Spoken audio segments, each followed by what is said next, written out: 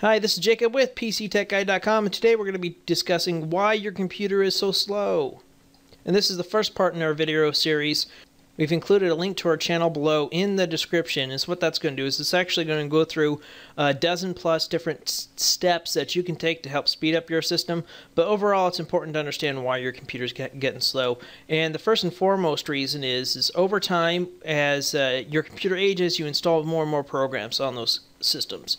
So if we look down like the system tray here, we have all these auto starting programs and a lot of the auto starting programs aren't even going to be listed here. So so many programs that we install nowadays want to end up in our startup menu. So that's that's one of the the the main reasons why a lot of computers slow down. Another one is going to be uh, you know hardware, right? So as software gets more and more complicated, more and more complex, our systems can't necessarily handle what's there. And one of the easiest things for that is going to be the system memory. So if I hit the Windows Start button, I'm going to go ahead and go over to Computer, right click on Computer, take a look at my properties, and I'm going to see right here, it lists my processor, which is an i7 core processor, uh, Intel, I love Intel, and I have a uh, 6 gigs installed on a 64-bit operating system. Now 6 gigs, yeah, I mean, that's, that's decent, but uh, if you're there and you have like 2 gigs on your computer, well, I'm sorry, there's probably not much more you can actually do on your computer there I do have some some quick tips and, and tricks that you, that you can try such as uh, expanding the virtual memory which we'll get into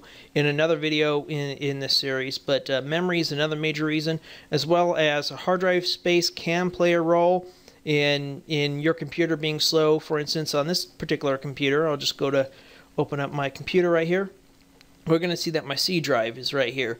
Now my C drive is only 120 gigs. It's an SSD drive, which is uh, um, solid state, and it just has faster read and write time. So it actually can access uh, the data faster and bring it up. So I do have a, a very modern hard drive, but the downside here is, is the space. I only have 120 gigs on it, and I'm already using 7.7 of it. So rule of thumb, you want about 20% of your hard drive free at all times. So, you know, I could go in, I can uh, delete items and files that I'm not using anymore.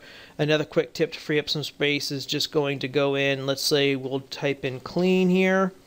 And up on top, you can't quite see it, but it's right up above here. It says disk cleanup and I can hit the OK button and we'll just let it scan through real quick and it's just going to scan through uh, basically temp files on my computer.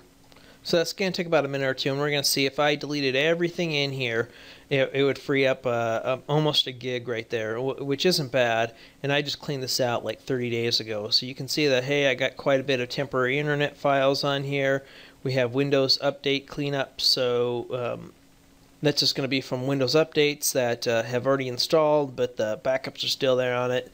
Um, reporting queues. So it's quite a bit I could clean just really quick and easily here. Now this isn't necessarily going to speed up my computer overall unless I have an issue where I don't have 20% of my hard drive free. Now, one of the major things you can do, like I said, is just eliminate auto starting programs. And the more programs you have open, you can see in my system tray here down below that I have several programs open right now. Well, as you have all these programs open, it's going to take more and more of that memory.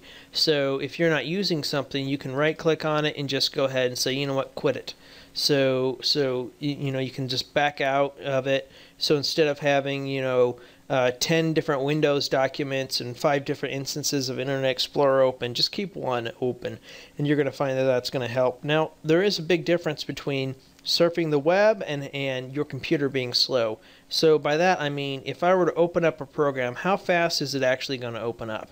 So I'm going to go up here, I'm going to select uh, uh, Windows, and it opened up pretty much immediately for me. So if this has taken a while, then that's probably going to be a memory issue. So you just don't have enough memory on your system, or your processor is just too slow and too old. Uh, you have too many actively running programs in the background and it just can't get to it fast enough. So there's a multitude of things. Now, if it's online and you're browsing around the web, again, a lot of that's going to have to do with memory. So if, if you have uh, high-speed internet access, you know, basically anything over 3 megs. Um, I'm on a 40 meg line, and, you know, pages should load up near instantaneous for me and and they do and that's because hey you know I don't have necessarily a whole lot running on my system and my system's properly optimized So this this video, like I said, covers the the why your computer is slow. In the next series of videos, we're going to be taking out a few minutes in each video series just to cover uh, several tricks you can do uh, by hand to help speed up your computer, and all these are going to be 100% for free because you're just manually doing it and manually doing the tweaking. That's it. I hope it helps. Thank you.